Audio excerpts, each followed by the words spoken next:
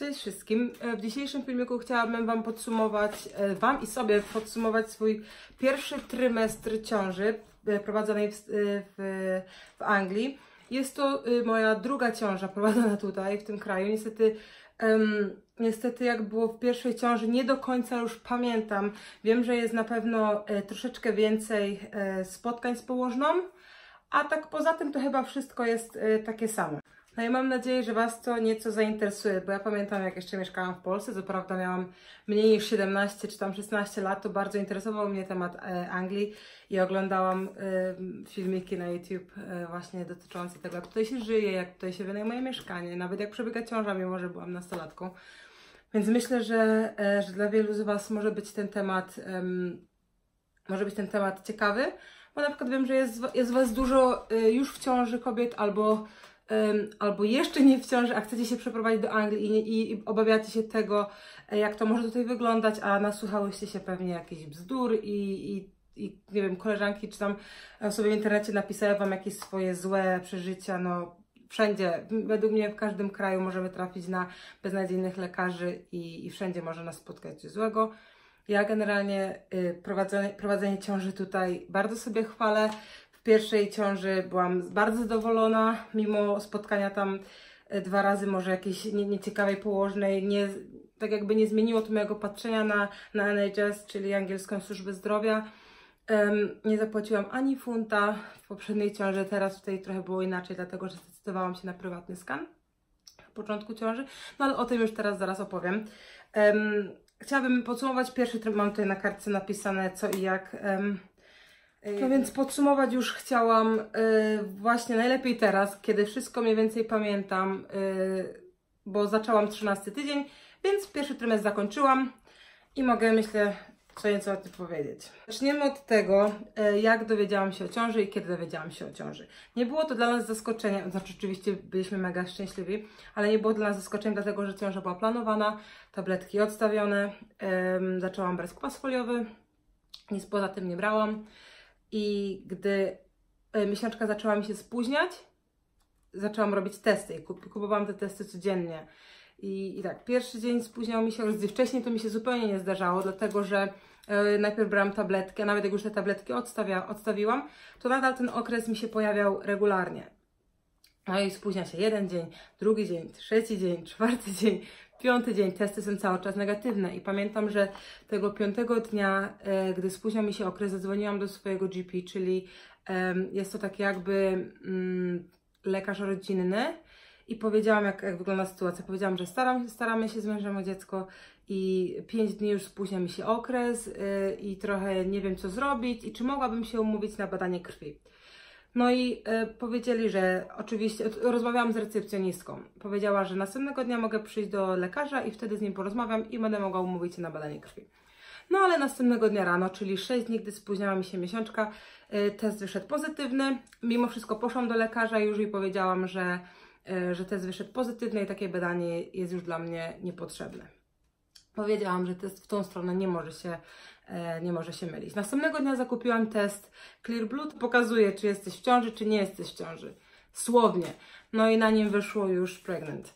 Um, więc już wtedy wiedzieliśmy, że na pewno jestem w ciąży i był to, teraz jak już sobie tak wyliczam, czwarty tydzień ciąży. Gdy wróciłam do domu, dostałam, poprosiłam od razu w recepcji e, o numer do położnych, od razu zadzwoniłam, powiedziałam e, jak się nazywam i tak dalej, że jestem w ciąży, panie mi pogratulowały i umówi, zapytały mnie o datę ostatniej miesiączki, przez co mogły mniej więcej obliczyć, w którym tygodniu mogłabym być. I zaproponowano mi wizytę w ósmym tygodniu, czyli to było za 4 tygodnie. Czułam się bardzo dobrze, yy, tak jak, ja, tak jak i w pierwszej ciąży. W ogóle bardzo, nie wiem czy dużo kobiet tak ma, ale podejrzewam, że tak, że porównujemy sobie każdą kolejną ciążę do tej poprzedniej. Yy, I ja w pierwszej ciąży czułam się bardzo dobrze, nie miałam żadnych nudności, poza tam trzema dniami w którymś tam tygodniu na początku. E, czułam się dobrze, jedyne co, no to wiadomo, e, wkurzały mnie zapachy, nie tyle wkurzały, co były bardzo intensywne dla mojego nosa. By, bywałam od razu mm, bardzo głodna, że w tej chwili tutaj muszę teraz coś zjeść. I to nie były jakieś duże porcje, po prostu musiałam na przykład zjeść herbatnika. Ym, zawsze, w pierwszej części tak samo ratowały mi te herbatniki bebe. Poza tym wszystko było ok, od razu momentalnie spuchłam mój brzuch zaczął mnie boleć od tego, jak bardzo on się napompował. Nie wiem, to był szósty, siódmy tydzień ciąży, końcówka maja. Jechaliśmy na e, końcówka maja, tak, końcówka maja. Jechaliśmy na wakacje e, na Fuerteventurę. E, czułam się bardzo dobrze, nie miałam, tak jak wcześniej powiedziałam, nie miałam żadnych takich ciążowych dolegliwości. Ćwiczyłam, nie chciałam przerywać ćwiczeń i pani doktor, gdy wtedy u niej byłam, powiedziała mi, że jak najbardziej, jeżeli dobrze się czuję, to mogę sobie dalej ćwiczyć, tylko powinnam pilnować, czy moje tętno jest poniżej 140. No i tego pilnowałam. I pamiętam jednego wieczoru na wakacjach miałam taki, taki ból, jakbym, taki bardzo silny ból, jakbym miała zaraz dostać okres. W ogóle ja porównuję ten ból brzucha na początku do tych okresowych, jak, jak jeżeli, jeżeli, macie, jeżeli macie bolesne miesiączki, to wiecie o czym mówię. E, dlatego wiele kobiet myśli, że mm, czeka na okres, a tak w, rzeczywi a w rzeczywistości są już na, na, powiedzmy w ciąży. No to jeden raz miałam i to trwało może z pół godziny, że bardzo mnie dziwnie tak kuło, Potem już przeszło i było ok. I to był jedyny taki, jedyne takie coś, co pamiętam z tych wakacji. No i również e, w, e, wtedy e, ogłosiłam na Instagramie, że jestem w ciąży. Wstawiłam takie zdjęcie. Wstawiłam teraz na sekundę to zdjęcie, które wstawiłam.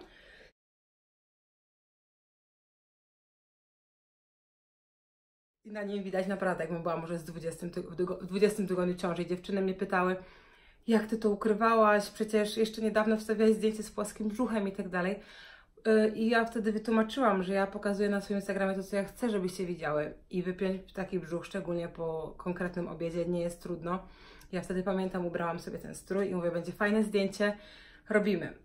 No i wypiłam, napiłam brzuch. To nie jest, to nie jest, um, to nie jest trudne do zrobienia i rzeczywiście brzuch wyszedł ogromny. Chociaż powiem szczerze, że od tamtego momentu i teraz jestem w 13 tygodniu, to ten brzuch taki jaki był, taki jest. Ja byłam bardzo wystraszona, że ja, ja strasznie się roztyję. Mimo, że to nie jest jakieś, nie jest jakieś takie najważniejsze, ile przytyjemy, bo wiadomo, najważniejsze jest, żeby dziecko było zdrowe, żeby ciąża była ok, ale pamiętam, jak to był siódmy tydzień, potem ósmy, dziewiąty i ten brzuch był cały czas taki napięty, taki duży, y, jakbym rzeczywiście była w 20 tygodniu ciąży, jak nie dalej. Ale ten brzuch, powiem Wam szczerze, teraz jest nawet i mniejszy niż był wtedy, więc ja nie wiem, no po prostu chyba wtedy y, tak spuchłam i tak jak mówię, brzuch, skóra na brzuchu mnie aż bolała od tego, jaki on był napięty.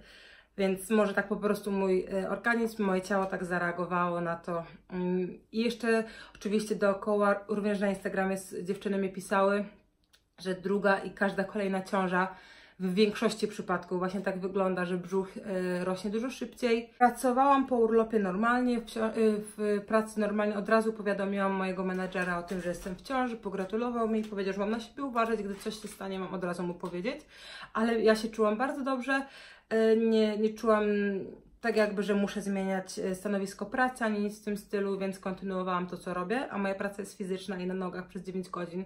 I cieszyłam się, dlatego że Chciała, chcę i chciałabym pracować do jak, naj, jak najdalszych tygodni ciąży. Y, planowałam nawet do 36-37 tygodnia ciąży, bo później akurat jest dwa tygodnie urlopu, to jest styczeń i zaraz po tym urlopie praktycznie mogłabym iść rodzić. Więc taki był plan, taki jest plan, a jak będzie to zobaczymy. Ja w ogóle czuję, że mówię zobaczymy przez cały czas. Ok, no to przyszedł dzień 12 czerwca i to był ósmy tydzień ciąży i miałam wizytę z położną. Oczywiście Dawid poszedł ze mną. E, była to taka głównie papierologia. Przez 45 minut siedzieliśmy u niej w sali. E, został mi zbadany mocz i zostałam bardzo pochwalona, bo mój mocz wyglądał jak woda. Powiedział, że mam powiedziała, że mam bardzo zdrowy mocz. E, wypełniliśmy, zaczęliśmy wypełniać wtedy taką kartę, taką książkę ciąży Y, której jeszcze wtedy nie dostałam. Powiedziano mi, że oczywiście y, ona będzie do mojego wglądu, ale dopiero po pierwszym USG, który jest w Anglii w 12 tygodniu ciąży. Na tej wizycie rozmawialiśmy wstępnie o porodzie, takie, tak, tak, taka ogólnie otwarta rozmowa o wszystkim. Naszą ym, historię medyczną spisywała, miałam pobieraną krew. Yy, I to chyba by było wszystko, tak patrzę. A, i dostałam teczkę. Już pokazuję, odkładam tu. Dostałam taką teczkę wtedy i już pokazuję, co tu mamy w środku. Taki starter pack jakby ciążowy. Um, tu jest taka, taka ulotka, ulotka, taka gazetka o tym, y, o plusach i minusach cią- y, porodu domowego, gdzie rodzić, w domu czy w szpitalu. Y, No ja generalnie nie chciałabym rodzić w domu, nie czułabym się tutaj dobrze, nie chciałabym, że wszystko było upaćkane krwią, a co by się stało jakby, ja nie, nie jestem osobą, która myśli negatywnie w ogóle, ale pomyślmy, co by się stało, jakby, jakby był potrzebny lekarz. Tak jak y, byłam, rodziłam Lię, wszystko było ok? Do, do ostatnich, ostatnich 5 minut porodu, gdzie lekarz musiał przyjść i musiał, musi- Lia musiała być wciągnięta kleszczo, kleszczami. Także w ogóle do mnie wchodzi w, w grę. Na pewno chcę rodzić w szpitalu.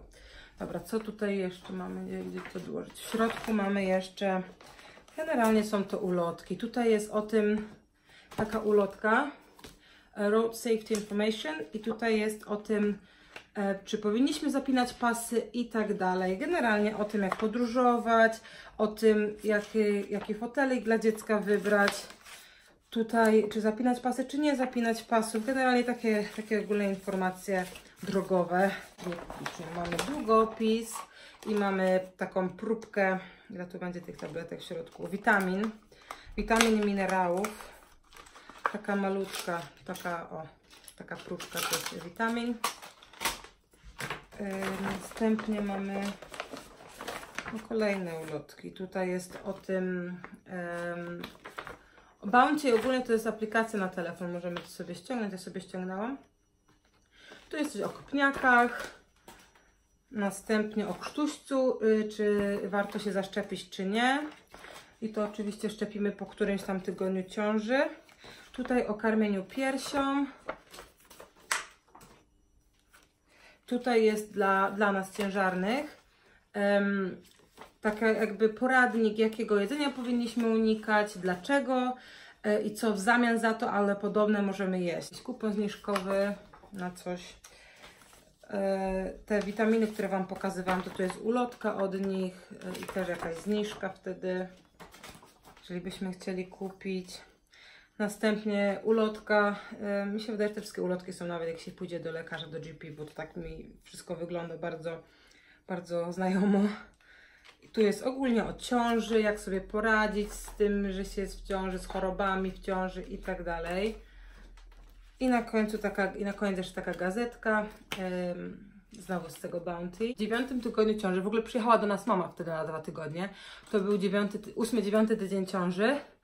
I jednego wieczoru mówię, a mam taką ochotę na Doritosy i serowe Doritosy i sobie zjem. No i tak jak w pio- to piątek wieczorem, jak sobie zjadłam te Doritosy, tak ym, żygałam cały weekend. Znaczy nie cały weekend, bo żygałam raz rano, ale czułam się, czułam, że moje, czułam się po prostu tak okropnie. Ym, niektórzy nie mają problemu z wymiotami. W sensie, dobra, zwymiotują i jest wszystko ok, ale ja zanim zwymiotuję, najpierw płaczę przez pół godziny, wstrzymując to wszystko, że ja nie mogę, że ja nie chcę i dla mnie to jest najgorsze, co może być. Ja, ja, ja naprawdę z ręką na sercu wolę ból fizyczny od złego samopoczucia. Jeżeli ja czuję, że jest mi niedobrze, ja nie jestem w stanie nic zrobić. Dlatego bardzo się cieszę, że jest to druga ciąża, w której nie mam żadnych nudności, nie mam złego samopoczucia i naprawdę wszystko jest pod tym względem ok. Poza tym jednym weekendem, za co obwijam nie ciążę, a właśnie te chipsy.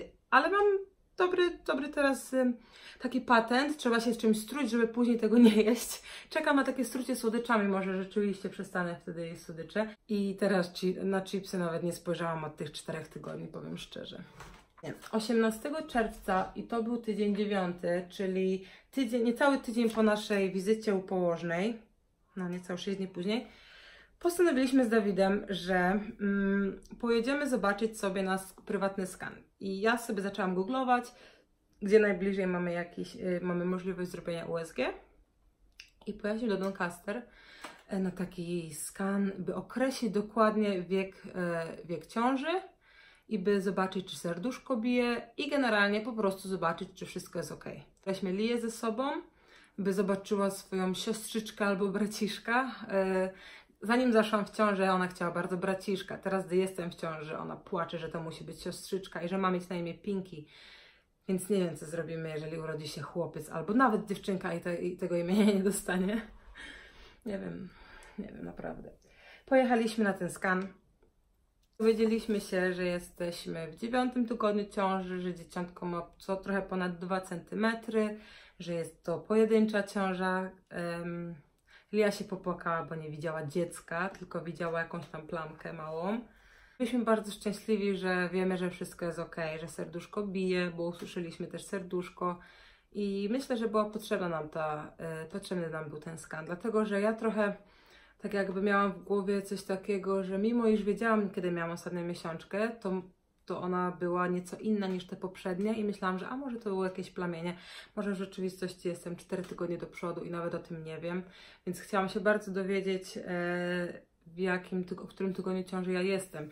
Jeszcze patrząc na to, jak strasznie rósł mi brzuch, ja już mówię, nie, to jak się nie okaże, że ja jestem gdzieś w 15 tygodniu, to ja nie wiem, co to znaczy. I 9 lipca, czyli... Um, czyli całkiem niedawno, w 12 tygodniu odbył się um, prenatalny skan w szpitalu razem z wizytą z położną i też zobaczyłam się z lekarzem, dlatego że zaczęły mnie boleć plecy.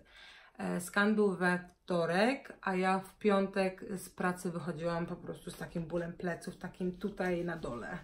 E, coś mnie uciskało, to nie był taki ból ciągły, to był taki ból przy, e, jak, jak pracowałam, jak gdy się pochylałam i coś pchałam, gdy się pochylałam i podnosiłam poduszkę i wtedy kuło mnie i mnie tak blokowało. I tak to było w piątek i we wtorek o tym e, również powiedziałam, ale zacznę od skanu. Dowiedzieliśmy się, że wszystko jest ok, jest to 12 tydzień ciąży, dziecko było bardzo, ale to bardzo ruchliwe, podskakiwało, machało nóżkami, rączkami, no Łzy w oczach oczywiście. Li nie wzięliśmy ze sobą, bo na liście było napisane, by lepiej dzieci ze sobą nie brać, więc była u opiekunki. Od razu powiedziałam też do pani sonografki, że bolą mnie plecy. Ona powiedziała mi, że o tutaj widzi, e, gdy mnie badała, gdy mi tam sprawdzała wszystko, powiedziała, że widzi torbiel na jajniku. Jest, on, jest ona całkiem duża, bo to yy, było wielkości dziecka, czyli ponad 5 centymetrów ale powiedziała, że nie ma się czym martwić, bo jakby teraz wzięła jakąkolwiek kobietę z ulicy, to naprawdę też by to miała, a my, ciężarne kobiety, takim przypadku, że my nie, nie miesiączkujemy teraz, to się z nas nie może uwolnić i to wszystko pomału będzie się wchłaniać, że pod tym względem się uspokoiłam. Um, i gdy wspomniałam o bólu pleców, powiedziała, że to może być przyczyną, ale nie musi i że y, po, po tym USG muszę chwilę jeszcze poczekać na poczekalni i wtedy zobaczy mnie e, położna. No i z położną mieliśmy spotkanie. Ta położna pobrała mi krew, bo również mieliśmy, było to badanie na ryzyko e, zespołu Downa i innych jakichś chorób, ale ja nie pamiętam ich nazw. Do tej pory nie dostaliśmy listu ani telefonu, dlatego brak informacji jest dobrą informacją, czyli że ryzyko jest bardzo, bardzo niskie. Jest to bardzo stresujące badanie. Niby, niby tylko pobierają troszeczkę krwi, ale potem ten czas oczekiwania się strasznie duży bo nie wiemy, jaką dostaniemy wiadomość. Co jeszcze? Moczu nie miałam sprawdzonego. Dostaliśmy zdjęcie i dostaliśmy w końcu, o taką teczkę tym razem dostałam. E, na teczce jest dużo różnych informacji na temat e, kiedy i gdzie zadzwonić, gdy gdy coś boli, gdy mamy temperaturę i tak dalej. Następnie tutaj są jak zaczyna się poród, jak to może wyglądać, by, by tutaj wierzyć swojemu instynktowi, instynktowi E, o co możemy zapytać swoją położną i tak dalej, i tak dalej. I w środku mamy duża stateczka, ja chyba ją po prostu zmienię na coś innego. I w środku dostaliśmy naszą książeczkę ciąży.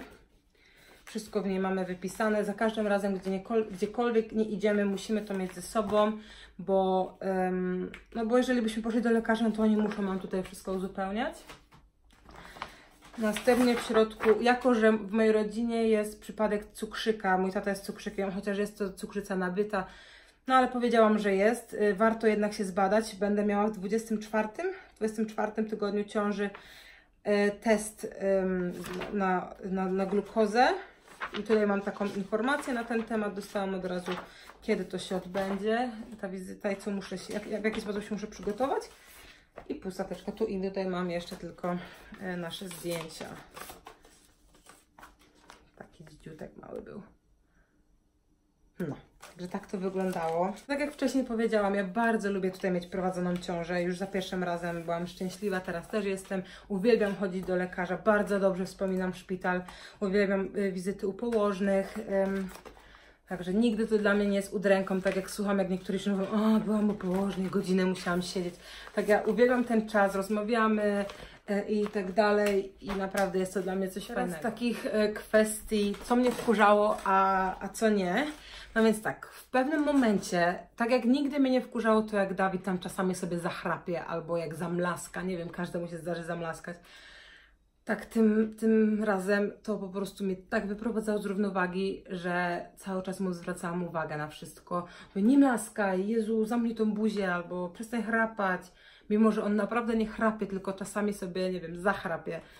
E, wkurzało mnie, jak kot koło mnie siedział i się oblizywał i słyszałam to mlaskanie. Bardzo mnie wkurzały zapachy różne, na przykład jak siedzieliśmy w, na stołówce na przerwie w pracy i ktoś jajko miał, albo nie wiem, no wszystko momentalnie czułam strasznie mocno i, i było mi niedobrze i było mi tak, zaraz byłam wkurzona. Następnie co jeszcze? O, bardzo y, mi nie podchodzi, mięso ogólnie mi już wcześniej nie bardzo podchodziło, ale teraz tym bardziej. I jak na, powiedzmy taki przykład, jedziemy do McDonalda sobie coś szybko zjeść, tak zawsze brałam cheeseburgera, tak teraz nie mogę patrzeć na wołowinę, nie mogę no nie smakuje mi. Wolę już wtedy wziąć sobie jakiegoś kurczak burgera i, i wtedy go zjem. Tak bardziej chcę teraz, przepraszam, za kurczakiem niż za jakimkolwiek innym mięsem. Um, o, i bardzo, ale to bardzo miałam ochotę na, i mam nadal, na białe pieczywo z serkiem typu almette i z pomidorem. Przez kilka tygodni codziennie, dzień w dzień musiałam jeść i normalnie nie wiem białego pieczywa, ale teraz na ciemne nie mogę patrzeć za bardzo, a to białe mi najbardziej smakuje.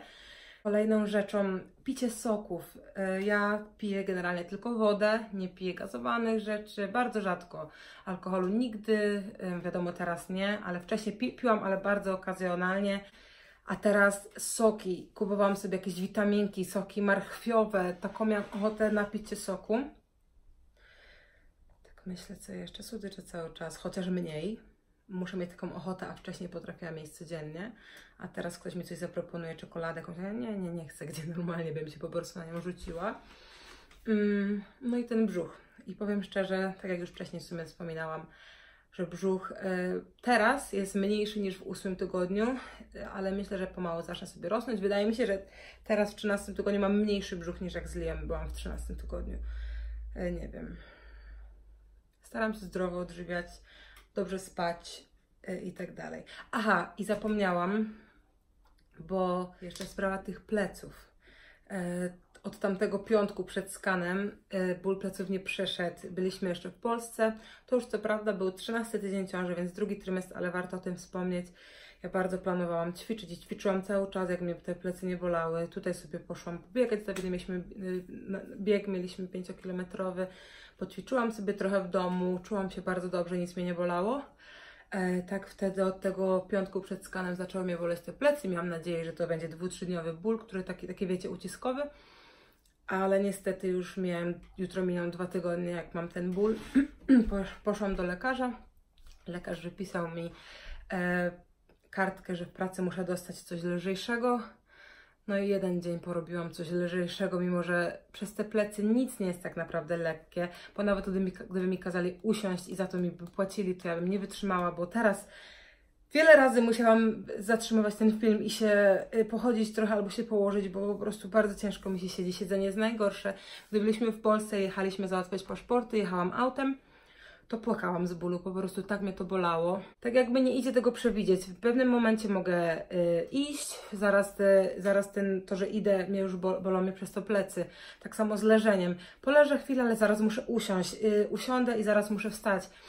Nie idzie przewidzieć, kiedy i, i gdzie tak dokładnie będzie to bolało. Poszłam do lekarza, dostałam tą kartkę. W pracy y, po, po powrocie z Polski robiliśmy risk assessment ciążowy i poinformowano mnie, że tak jak jest w umowie i tak dalej, nie ma w tej fabryce żadnej e, pracy, która byłaby dla mnie bezpieczna w tym momencie, jeżeli chodzi o moje plecy, bo na każdej pozycji trzeba coś podnieść, albo trzeba być na nogach cały dzień, albo być na, na siedząco cały dzień. I nawet zapytali mnie, co ja sobie wyobrażam teraz robić. I powiem szczerze, że gdyby nie ten ból pleców, ja bym jak najbardziej pracowała, ale z tym bólem pleców ja nie, nie jestem w stanie nawet siedzieć. Więc powiedzieli mi, że muszę wrócić do lekarza i albo on mi daje zwolnienie z pracy, albo daje mi komnotkę, że ja jestem sprawna do pracy i wtedy oni mogą mnie dać gdzieś, gdzieś na coś lżejszego, e, w sensie lżejszego dla ciężarnej kobiety, ale z tymi plecami ja nie mogę nic robić. Ja to powiedziałam. No i byłam u tego lekarza i dostałam zwolnienie na miesiąc. Ale za tydzień już mamy urlop, bo my w pracy mamy taki urlop narzucony z góry. Fabryka jest zamknięta y, i cały nasz roczny urlop jest tak rozplanowany. I akurat do 26 lipca zaczyna nam się urlop i on trwa do 13 sierpnia. I ja mam ten, y, mam, mam zwolnienie do 16 sierpnia i zobaczymy. Ja mam nadzieję, że te plecy przestaną mnie boleć i będę mogła normalnie wrócić do pracy dlatego że chorobowe tutaj jest bardzo, bardzo mało płacone i no przed, przed urodzeniem się dziecka wolałabym jednak mieć więcej pieniędzy niż mniej. Ale cieszę się dlatego, że y, muszę znajdować plusy. Muszę znajdować plusy i jednym z nich jest to, że nie muszę płacić za opiekę nad Lią, dlatego że mogę skorzystać sobie tylko z tych darmowych godzin, które, mi, yy, które nam się należą i nic ponadto, a Alia była u opiekunki przez 45 godzin tygodniowo, a tylko 22 godziny mamy darmowe, więc to już odchodzi i tego nie muszę płacić, bo jestem z nią w domu. Mogę sobie odpocząć, bo no, praca 40 godzin w tygodniu, wszyscy wiemy jak to jest. Jeszcze praca, której nie bardzo lubimy, albo znaczy lubimy, ale nie jest pracą naszych marzeń. I chcę wykorzystać ten czas na to, by się może rozwijać w jakimś kierunku i o ile, o ile będzie mi to dane, i na pewno wykorzystam ten czas w jakiś sposób, a jak będę mogła wrócić do pracy, to na pewno wrócę, bo tak czy siak już, jeszcze trochę i, i macierzyński. Mam nadzieję, że ten filmik Wam się podobał i był e, pomocny. Nie wiem, czy pomocny. Ja Wam, jak mniej więcej tutaj wygląda e, prowadzenie ciąży w pierwszym trymestrze, mimo że zbyt dużo takich z medycznej strony nie było, nie działo się w tym trymestrze, ale przypominam, jest to druga ciąża pierwszej ciąży mielibyście chyba już dwie wizyty u położnej, a nie jedną. Także jeżeli, jeżeli podoba Wam się taka seria, to na pewno zrobię taki filmik po drugim trymestrze ciąży i potem po trzecim trymestrze ciąży. I w ogóle, jeżeli podoba Wam się to, jeżeli, jak, jak już tak trochę gadam, no to też byłoby fajnie, jeżeli dalibyście mi znać i może wtedy więcej takich filmików się pojawi.